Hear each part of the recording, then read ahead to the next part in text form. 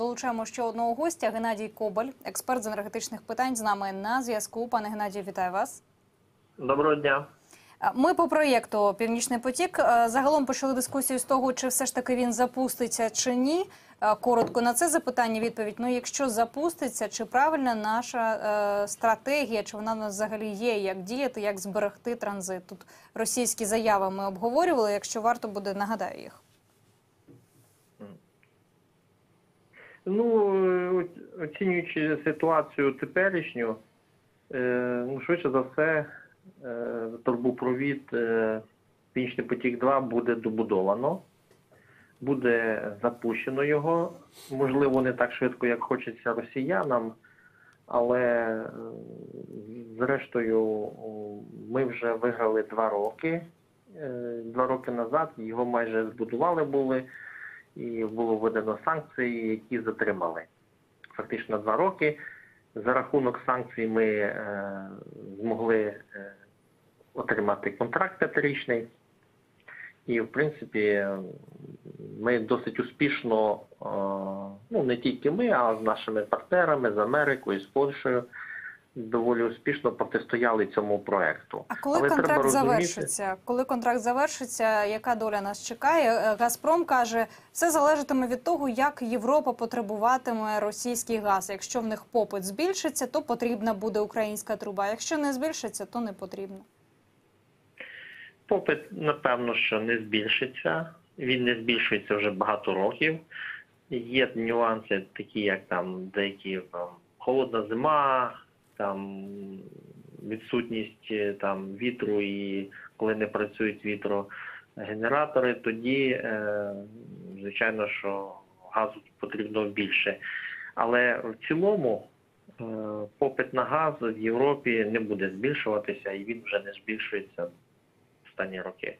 Тому, якщо так оцінювати російські заяви, то вони не будуть транспортувати через Україну.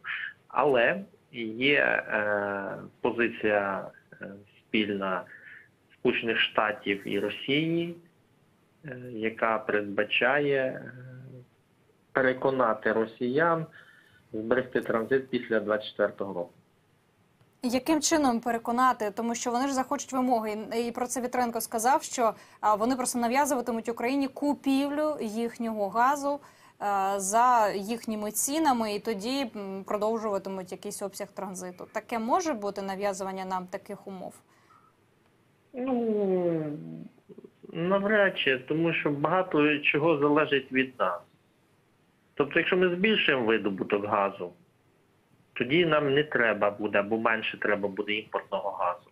Якщо ми зменшимо, е, проведемо заходи енергоефективності, зменшимо споживання, тоді нам не треба буде газу. Тому е, у нас дуже багато домашньої роботи. Це добре боротися в міжнародних судах, там санкції разом з американцями, але треба самим щось робити. А І яка саме домашня робота наша? Збільшити видобуток газу це завдання номер один, яке, на жаль, наше керівництво Нафтогазу не спроможне зробити ось уже сім років. Ну це означає, що нам не потрібен буде російський або європейський газ, але транзит ми все одно ну це інша річ, так що буде Росія транзитувати чи ні, і що буде з нашою трубою транзитною. Звичайно, наше завдання добитися збереження транзиту, нехай невеликого. Зараз ми маємо 40 мільярдів гарантованого транзиту на 4 роки, на цей і ще 3 роки. Тому е, навіть якщо ми отримаємо навіть 20 мільярдів транзиту, це вже буде добре. Е, разом з тим, е, збільшення видобутку власного газу дасть можливість оператору газотранспортної системи замістити частково втрачений транзит власним газом. І про це треба більше говорити. І просто ми так як це, е, пов'язали в цій боротьбі, що ми вже забули, що нам самим треба робити. Нам треба модернізувати власну газотранспортну систему. Почули. Так само проблема.